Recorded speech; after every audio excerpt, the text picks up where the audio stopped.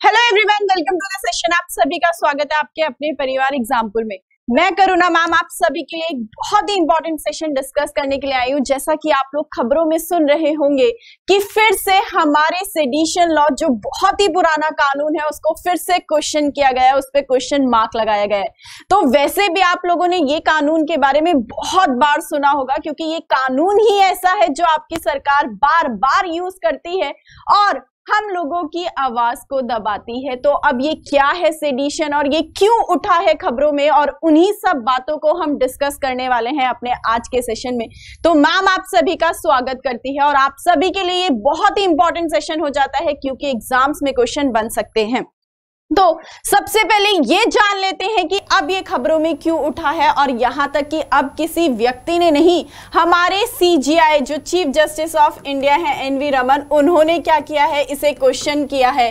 इसे क्वेश्चन किया है कि भाई जो ये इतना पुराना कानून है, क्या आज भी हमें इस कानून की ज़रूरत है? जब हमें पिछहत्तर साल हो चुके हैं आज़ादी के तो क्या आज भी इतने पुराने कानून की हमें ज़रूरत है या नहीं है तो इसीलिए इसे क्या किया गया है? क्वेश्चन किया गया है। तो क्या है ये कानून? क्या है सेडिशन लॉ क्या है sedition law CJI NV Raman ने हमारे सुप्रीम कोर्ट में क्वेश्चन किया है और गवर्नमेंट से मांगी है एडवाइस कि जहाँ हमारी सरकार पुराने कानूनों को बदलने की कोशिश करती है, खत्म करने की कोशिश करती है तो ऐसा वो क्यों नहीं कर रही कि इस कानून को भी खत्म कर दिया जाए? देखो, जब हम बात करें सेडिशन की, राजद्रोह की मैम ने एक वर्ड यूज़ किया सेडिशन लॉ सेडिशन लॉ तो पहले जान लेते हैं कि ये सेडिशन लॉ राजद्रोह कानून है क्या और हमारे देश में कब से फॉलो किया जा रहा है। देखो, जब हम राजद्रोह कानून की बात करते हैं तो जब हमारे देश के अंदर क्या बनाई गई थी? आई आईपीसी क्या हुआ था मैम आईपीसी को इंप्लीमेंट किया गया था। तो आईपीसी को इंप्लीमेंट किया गया था 1860 में। 1860 में और आप मानेंगे कि 1860 में जब आईपीसी को इंप्लीमेंट किया गया था तो जो ये सेक्शन है सेडिशन का 124 ए इस सेक्शन को तो उसमें इंक्लूड किया ही नहीं गया था। अब आप मुझे ये बताएँगे कि ये आईपीसी बनाई किसके द्वारा गई थी? तो जल्दी से बताइए मैम, किसके द्वारा? तो मैक्यूले के द्वारा। किसके द्वारा? तो मैक्यूले के द्वारा बिल्कुल सही कहा आप लोगों ने।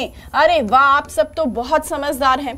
तो आईपीसी जब 1860 में इंप्लीमेंट हुआ, उस टाइम पर ये सेडिशन का जो सेक्शन है 124 ए राजद्रोह का, ये इसमें इंक्लूड ही नहीं किया गया था। लेकिन जब हम अपनी आज़ादी के लिए आवाज़ उठा रहे थे तो हमारी आवाज़ को दबाने के लिए ब्रिटिशर्स ने इसे इंक्लूड किया था 1870 में आईपीसी में।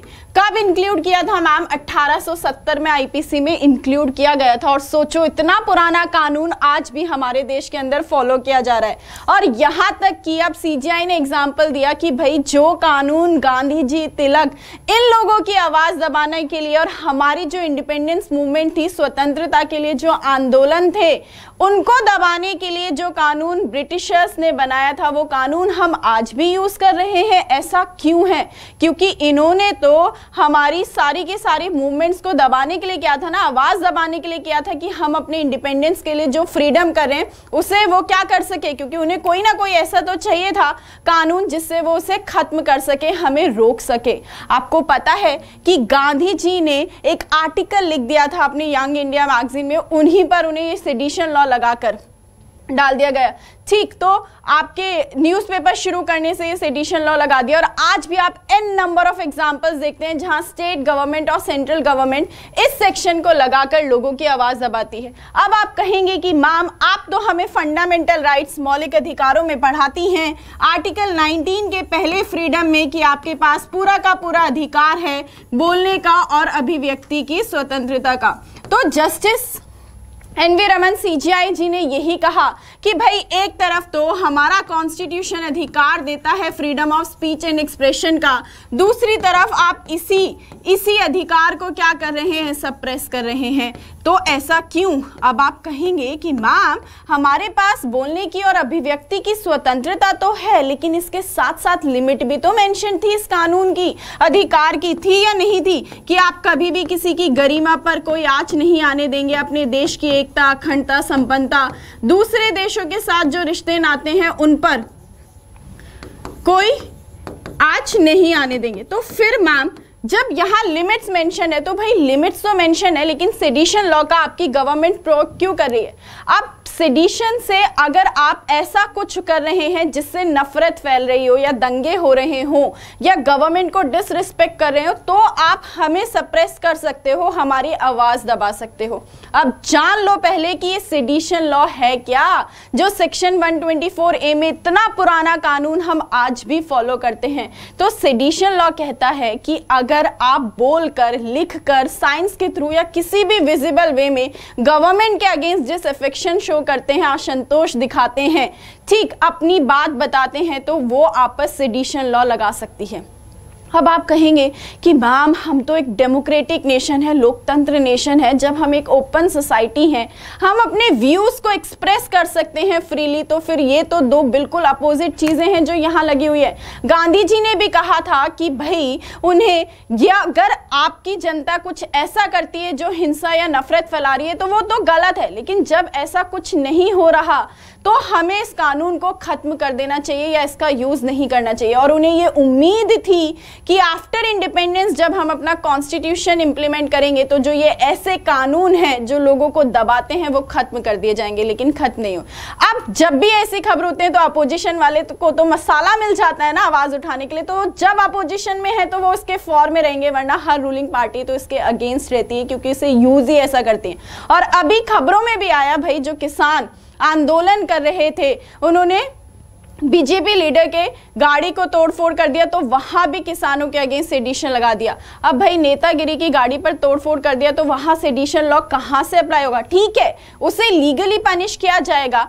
आप विधि कार्रवाई करो, कानूनी कार्रवाई करो, वो चलेगा, लेकिन सेडिशन का मामला यहाँ कैसे दर्ज हो जाता है? क्योंकि आप लोगों से जब सेडिशन कानून लग जाता है ना तो इसकी जो पनिशमेंट है, उससे इंसान का पूरा का पूरा जीवन भी खत्म हो जाता है। तीन साल से लेकर, कितना मैम, तीन साल से लेकर लाइफ इम्प्रिजनमेंट है। थ्री ईयर्स से लेकर उम्र कैद हो सकती है लाइफ इम्प्रिजनमेंट हो सकती है फाइन लग सकता है, जुर्माना लग सकता है। क्या लग जाता है? फाइन भी लग सकता है, जुर्माना भी लग सकता है। यहाँ तक कि उन लोगों को बिना पासपोर्ट के रहना पड़ता है। पासपोर्ट जब्त कर लिया जाता है। सरकारी नौकरी के लिए अप्लाई नहीं कर सकते गवर्नमेंट सर्विस नहीं कर सकते। और जब भी उन्हें कोर्ट में बुलाया जाएगा तो उन्हें कोर्ट में हाजिर होना पड़ेगा। तो देखा ये कानून कितना पावरफुल है कि अगर सेडिशन लॉ लगा दिया, और अगर हम इस सेडिशन लॉ की बात करें तो अब एक परसेंट इंक्रीज हुआ है सेडिशन के केसेस में कि जो सेडिशन के केसेस दर्ज किए जा रहे हैं, एक परसेंट। मानेंगे जहाँ 2016 में सिर्फ़ 35 केस थे, वहीं 2019 में 93 केसेस दर्ज कराकर एक सौ पैंसठ। केसेस की बढ़ोतरी हो रही है, लेकिन कन्विक्शन रेट कम हो रहा है क्योंकि वो केस तो दर्ज कर देते हैं, लेकिन वो प्रूव ही नहीं होते कि वो सेडिशन का केस है। बहुत ही फ़ेमस अभी भी आप लोगों को एक नाम याद आ रहा होगा, मैं आपको एक हिंट देती हूँ, एक क्लाइमेट एक्टिविस्ट टूल किट बना दी थी तो उन पर भी ये सेडिशन का केस लगा था, क्योंकि अगर सोशल मीडिया देखो भाई, हम क्या है? धीरे धीरे अवेयर हो रहे हैं। और हमारे पास पूरा का पूरा अधिकार है कि अगर हम किसी भी मुद्दे पर अपनी गवर्नमेंट के अगेंस्ट कोई व्यू रखते हैं या हम कोई बेटर वे बता सकते हैं तो हमें पूरा अधिकार है कि हम फ्रीली बोल सकें।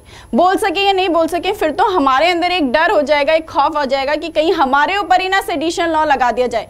तो क्या हम फ्रीली अपनी बातों को एक्सप्रेस कर पाएँगे? ज़रूरी तो नहीं है ना कि जो सरकार काम कर रही है, वो बेहतरी कर। हो ऐसा हो सकता है कि हमारे पास बेटर अपॉर्चुनिटी हो और हम एक बेटर पर्सपेक्टिव रख सकते हो। रख सकते हो या नहीं रख सकते हो? तो इसीलिए इसीलिए कहा गया कि भाई, इस लॉ में रिफॉर्म्स करने की नीड है आज के टाइम तो हमारे सीजीआई ने गवर्नमेंट से जवाब मांगा है कि भाई, बताइए कि हम इस लॉ के अंदर चेंजेस क्यों नहीं कर रहे हैं और इसे अभी तक फॉलो क्यों कहा, क्यों किया?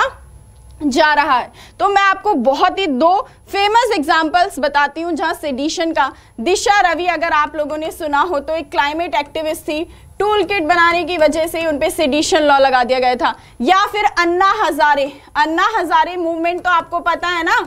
जो क्या हुआ था? अन्ना हजारे 2013 में आंदोलन किया गया था। वो किस लिए किया गया था? कि भाई लोकपाल बिल को पास करा दे। तो 2012 में 2012 में मुंबई के एक एक्टिविस्ट थे असीम त्रिवेदी। उन्होंने, सोचो, एक कार्टून बना दिया था और उसी कार्टून बनाने की वजह से उन पर सेडिशन लॉ लगा दिया।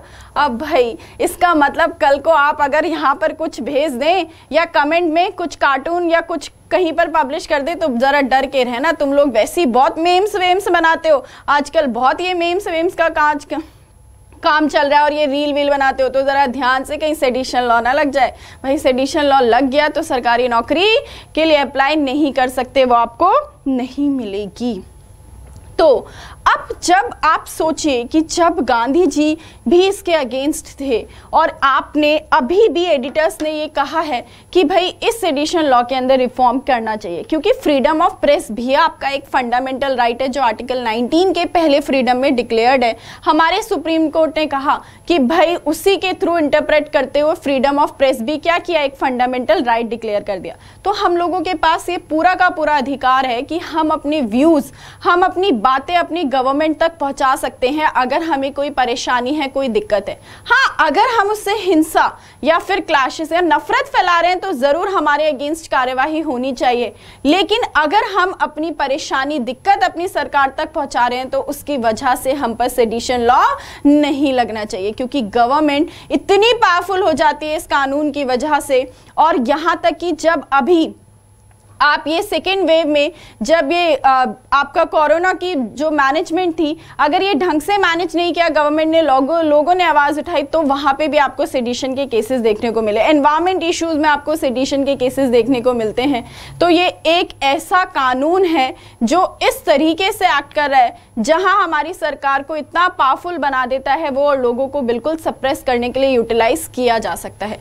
तो आप देखते हैं कि आपकी सरकार क्या जवाब देती है हमारे सुप्रीम सुप्रीम कोर्ट को, क्योंकि उनसे क्वेश्चन किया गया है। और अब देखेंगे नेक्स्ट सेशन में कि इस सेडिशन लॉ से रिलेटेड क्या होने वाला है। मुझे उम्मीद है कि आप लोग ये सेडिशन लॉ क्या है, ये सेक्शन क्या है पनिशमेंट क्या है, ये सारी बातें जान चुके हैं और समझ चुके हैं। तो thank you so much for attending the session मिलते हैं अपने नेक्स्ट सेशन में है। ऐसे ही आप लोगों का प्यार बना रहे हमारे साथ। तो मिलते हैं नेक्स्ट सेशन में। बाय बाय टेक केयर जय हिंद।